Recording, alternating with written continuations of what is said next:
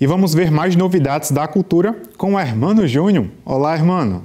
Oi, Lucas. Eu volto agora falando de um festival que vai unir arte e religião e vai acontecer semana que vem aqui em Campina Grande. O Festival de Cultura Católica vai contar com uma programação com apresentações de teatro, dança e cultura popular, além de uma mesa redonda que vai debater o tema arte e religiosidade no Cariri paraibano. O evento é uma realização da Diocese de Campina Grande com o apoio da Secult e acontece nos dias 22 e 23 de maio no Teatro Municipal Severino Cabral, a partir das 7 da noite.